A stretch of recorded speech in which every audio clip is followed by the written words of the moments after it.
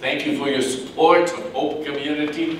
We rely upon the gifts, the contributions, the tithes and offerings of God's people. We do not pass an offering basket, as you know.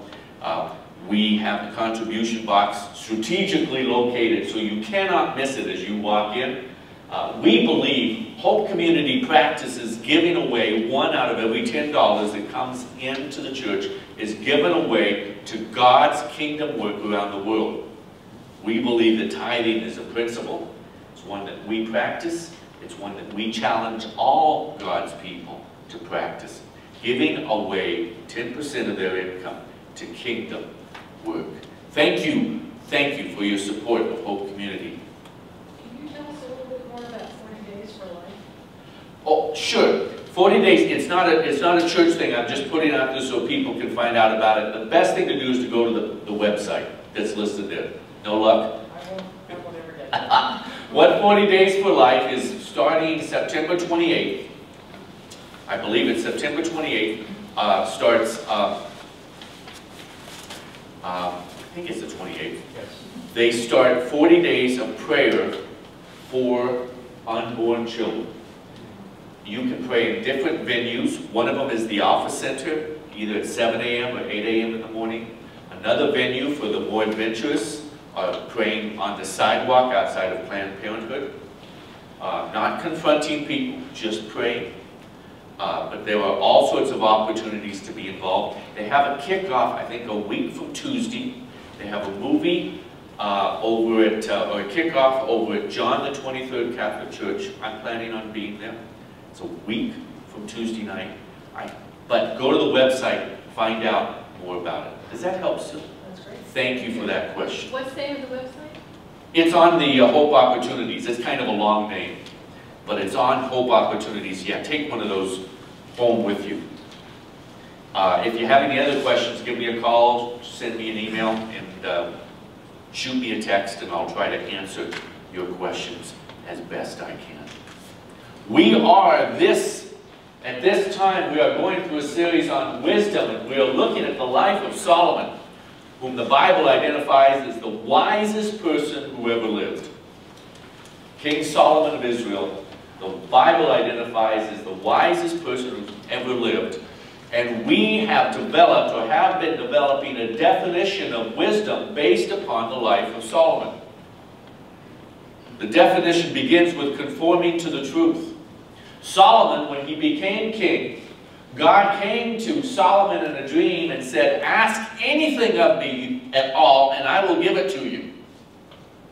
Solomon said to God, I am just a child. He understood the truth. He understood reality. And he conformed to that reality. Lord, he said, I need help. Our world is packed with people in desperate need of God's help, but too proud to ask. So the number one definition of wisdom is conforming to the truth. Solomon understood how immature and how much help he needed. Number two definition is recognizing value and putting value on display. God, Solomon understood that he needed God's wisdom, and so he asked God for wisdom. And when he received it, he didn't hide it, he put it on display. You can read about it the first book of First Kings. Putting value on display, recognizing value. Wise people can differentiate between what's valuable and what's useless, what's valuable and what is not valuable. Our culture has a problem with that. Our culture puts value upon things that are not valuable. Wisdom recognizes true value and puts it on display. The third definition of wisdom, as we looked at this last week, is it is the fear. It begins with the fear of the Lord. Tuesday night at our sermon discussion group, I got critiqued. Said, Dan, you didn't do a very good job of describing fear of the Lord because in our culture today, people don't want to be afraid of anything. Of course, as we talked last week, because we've lost our fear of the Lord or abandoned our fear of the Lord, we have become afraid of everything. We even take our shoes off before we get on an airplane.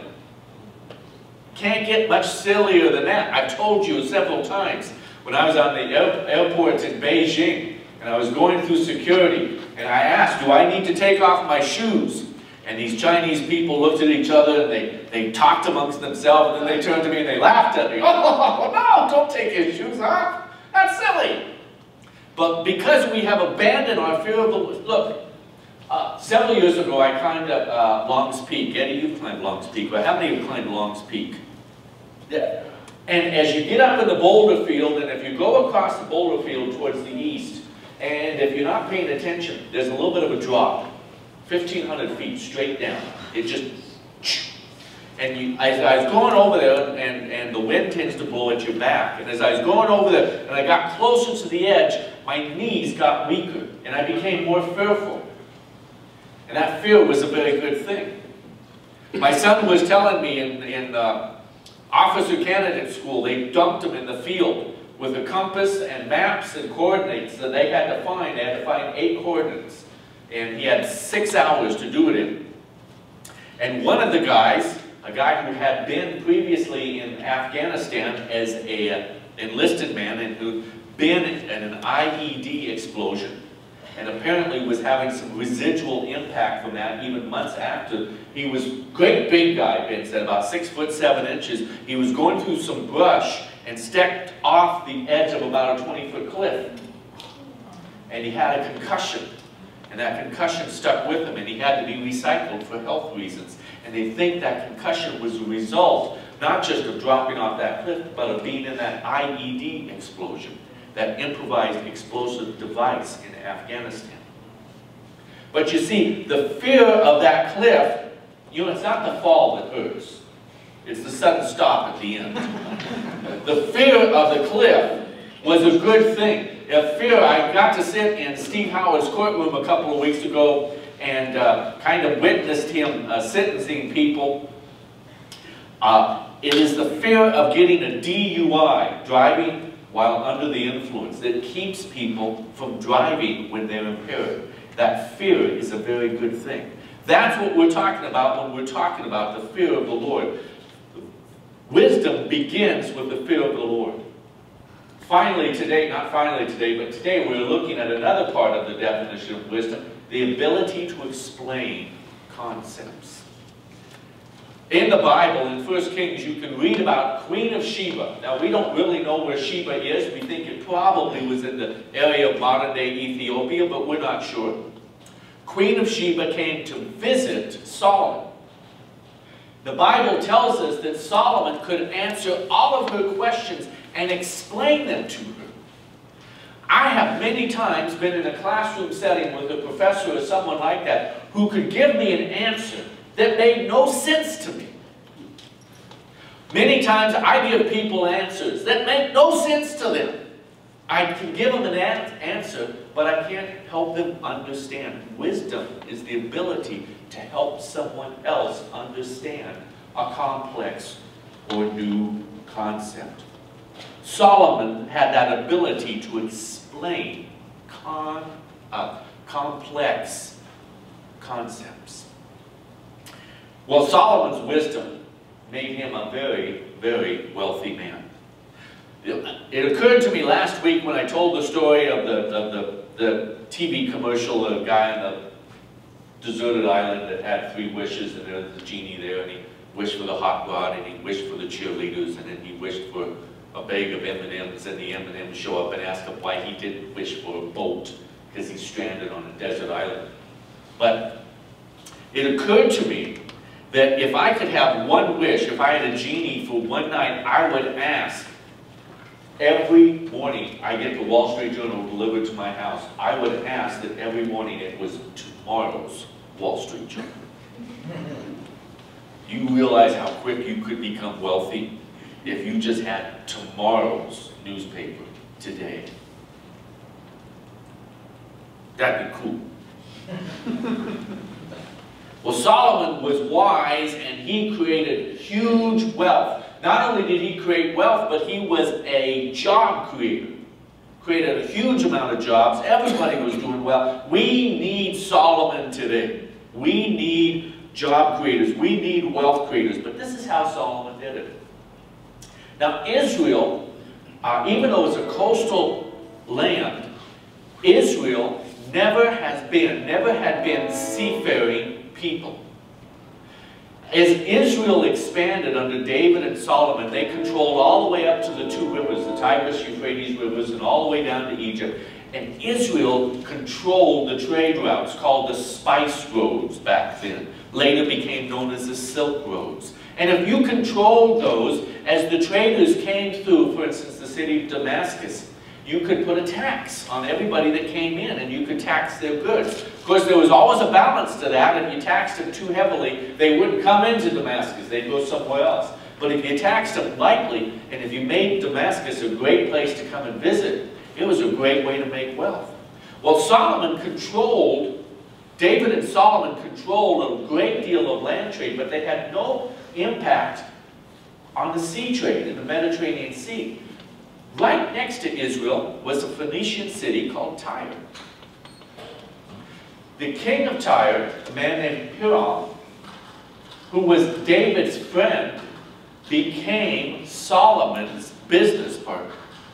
Not only now could Solomon trade on land, but he could trade by sea. He could put goods on sea with the king of Tyre, and he could send it to Spain and to Italy.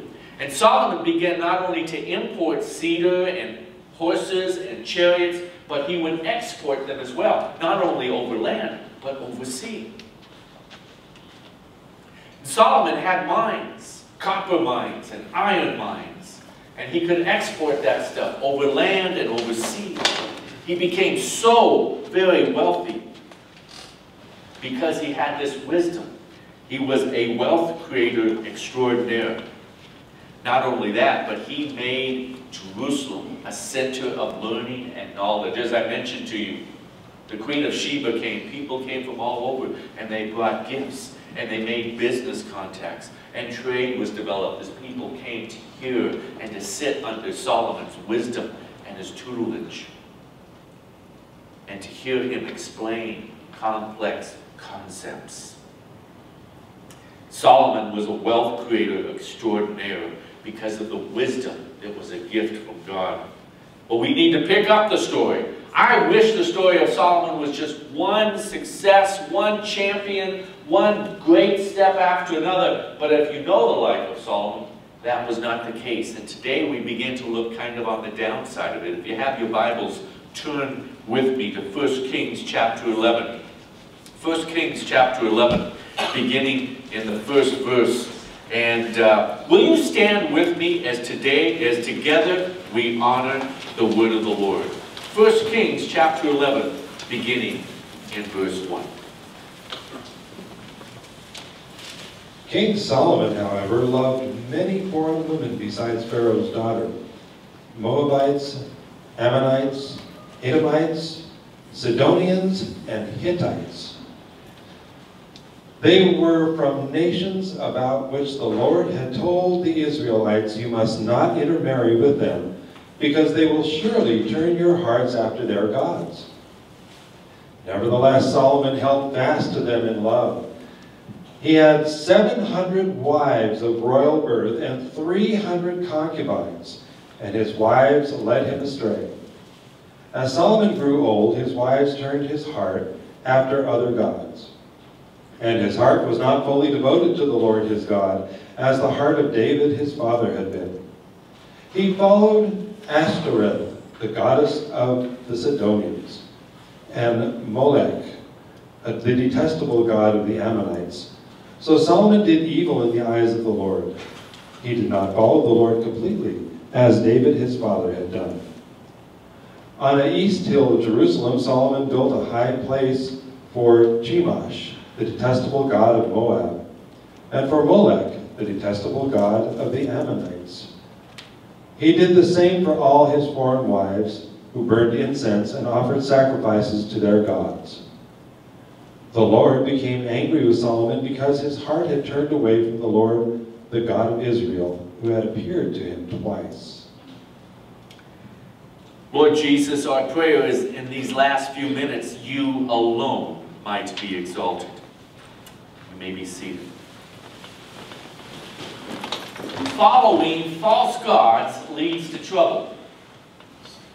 We'll see that in Solomon's life the next couple of weeks. But following false gods leads to trouble.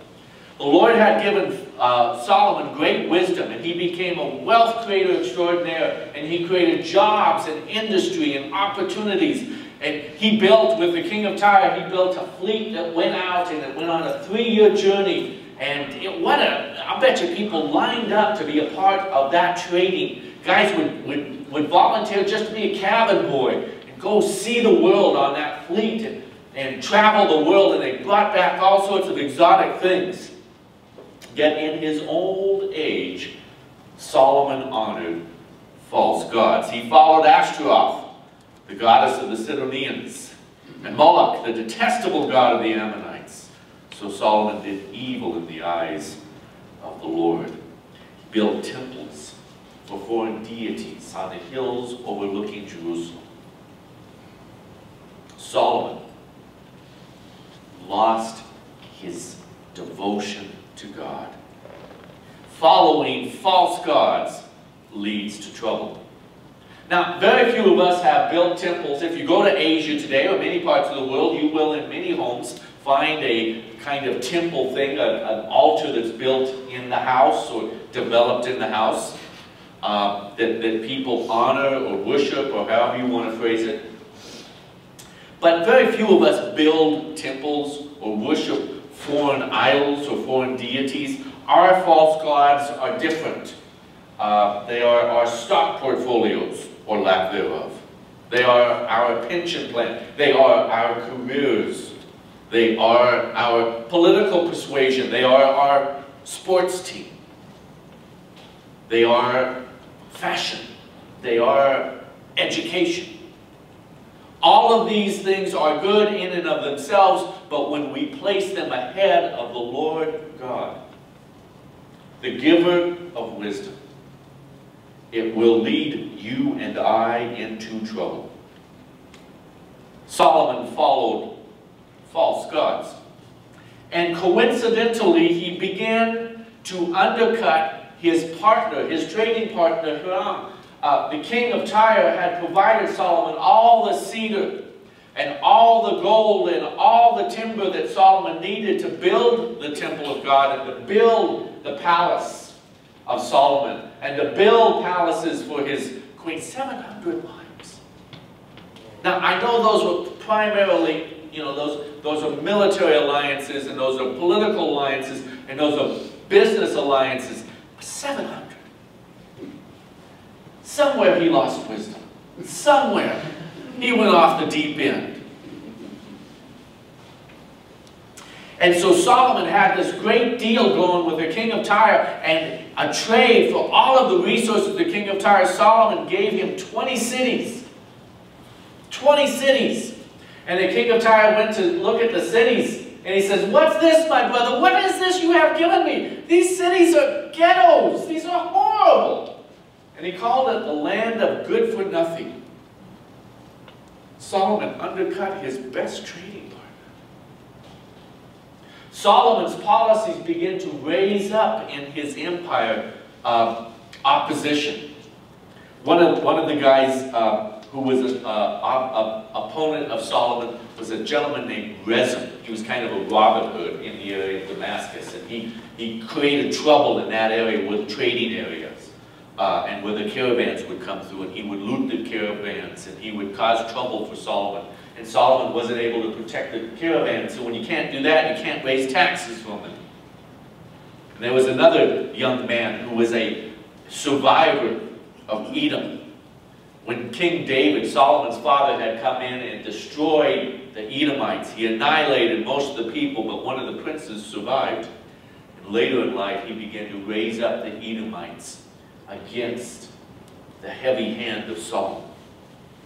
Because when you fail to follow the Lord with devotion, you begin to be a tyrant to others. You begin to take advantage of others.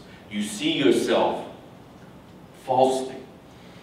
Not only did the Lord raise up rebels against Solomon, but Solomon sought to kill a man named Jeroboam, who was one of his very best officials. Why?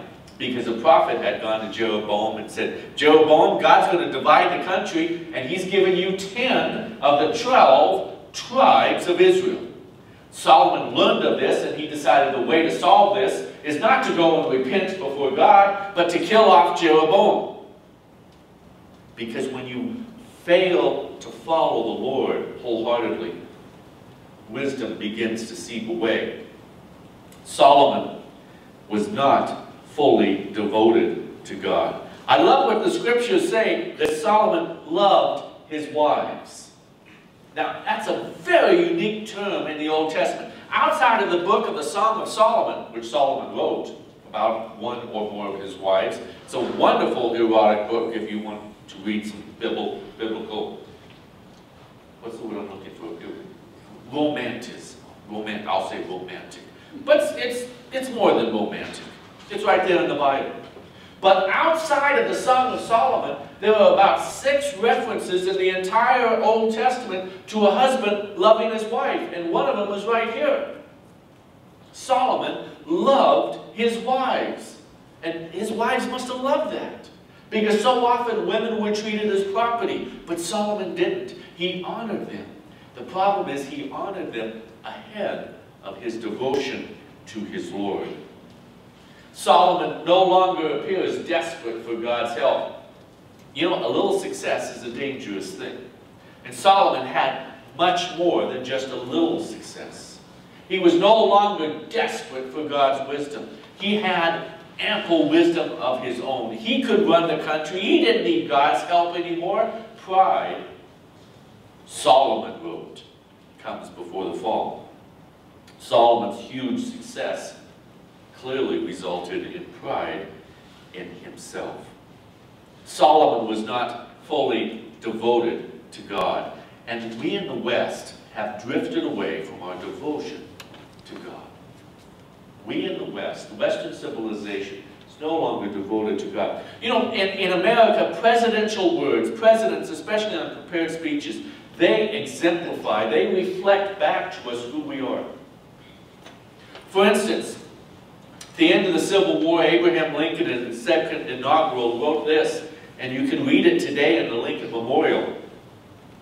Lincoln uh, said in his second inaugural about the North and the South both read the same Bible and pray to the same God. Each invokes his aid, that is God's aid against the others.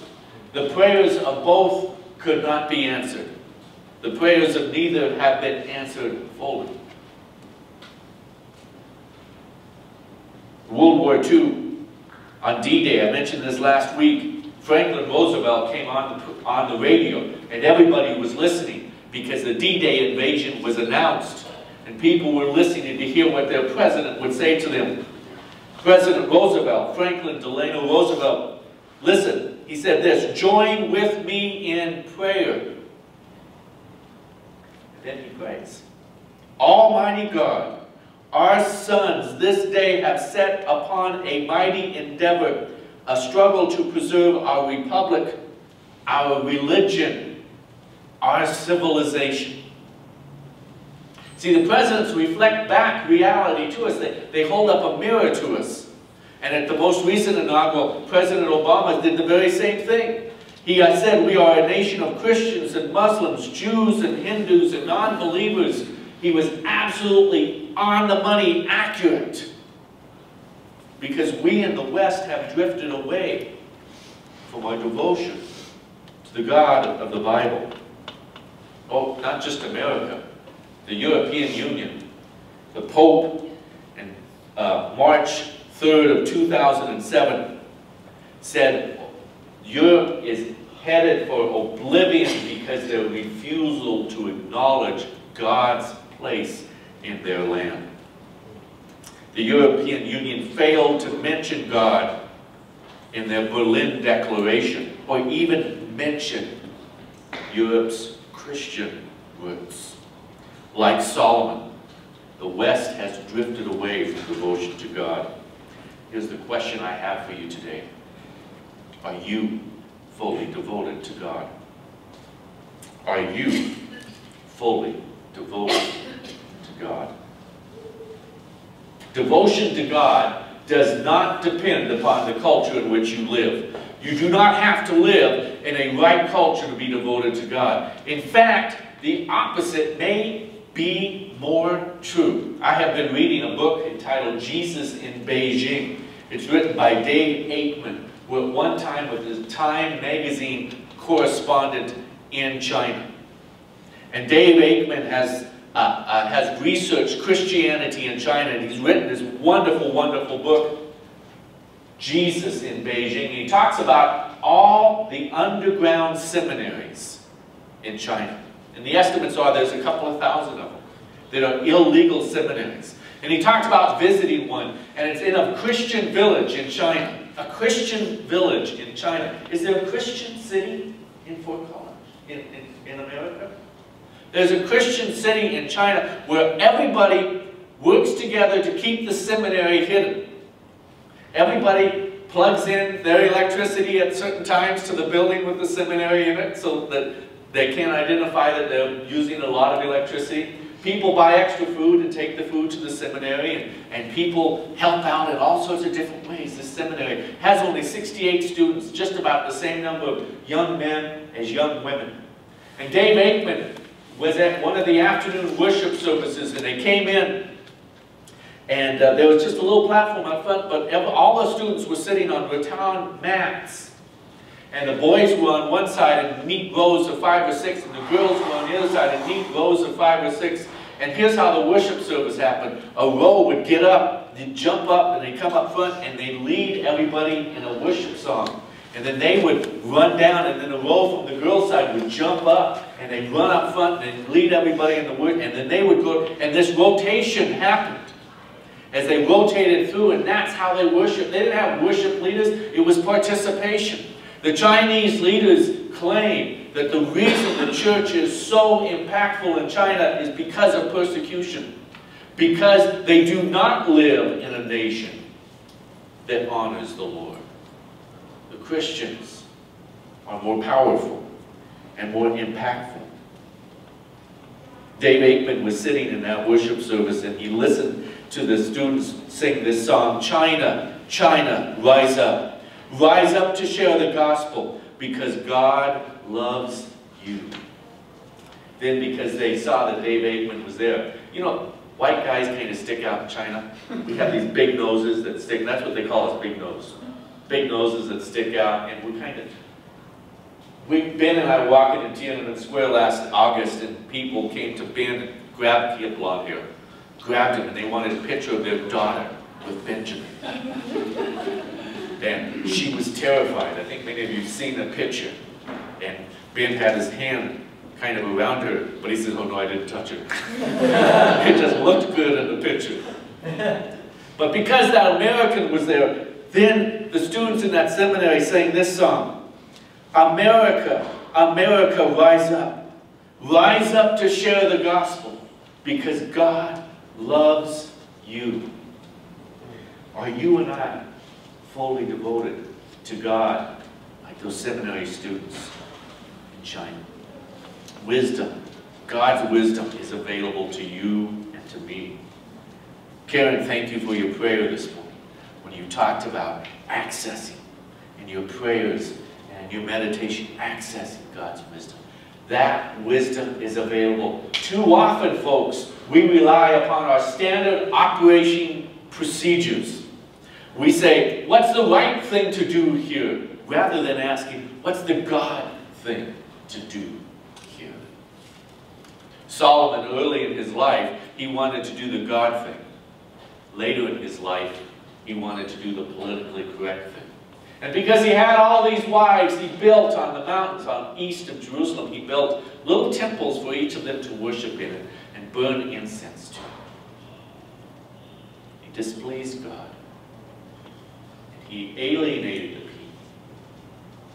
And in the weeks to come, we'll see the tragedy that resulted because Solomon failed to stay devoted to God.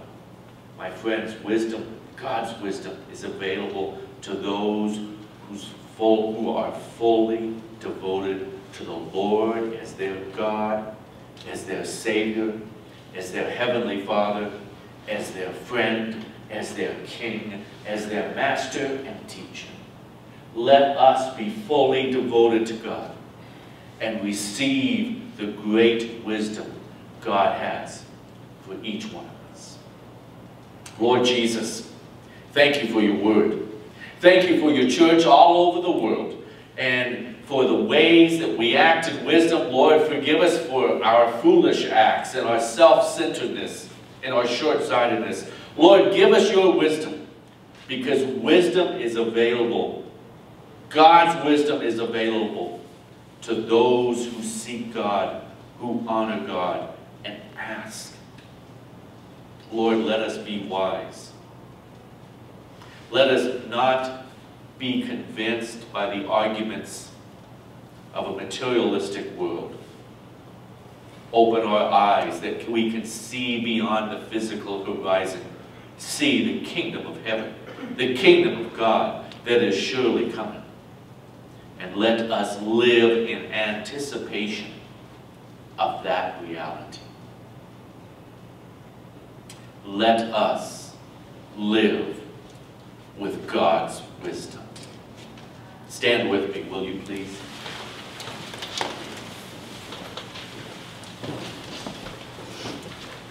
Now may the Lord bless you and keep you.